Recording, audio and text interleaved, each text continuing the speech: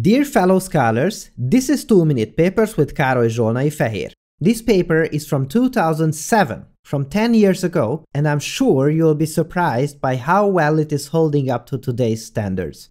For me, it was one of the works that foreshadowed the incredible power of data-driven learning algorithms. So, let's grab an image and cut a sizable part out of it and try to algorithmically fill it with data that makes sense. Removing a drunk photobombing friend from your wedding picture or a building blocking a beautiful view to the sea are excellent and honestly painfully real examples of this.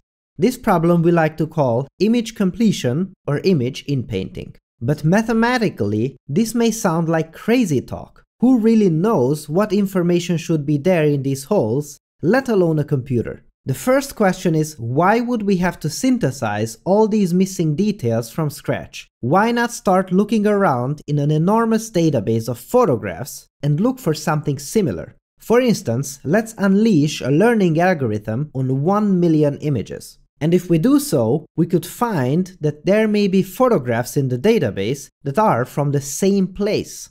But then, what about the illumination? The lighting may be different. Well, this is an enormous database, so then we pick a photo that was taken at a similar time of the day and use that information. And as we can see in the results, the technique works like magic. Awesome! It doesn't require user-made annotations or any sort of manual labor. These results were way, way ahead of the competition.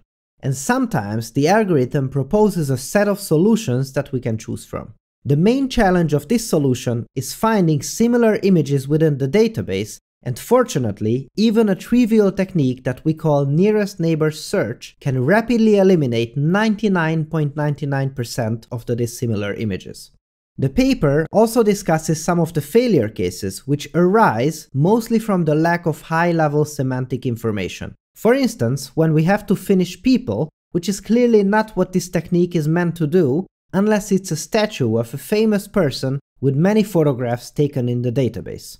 Good that we are in 2017 and we know that plenty of research groups are already working on this, and I wouldn't be surprised to see a generative adversarial network based technique to pop up for this in the very near future. Thanks for watching and for your generous support, and I'll see you next time!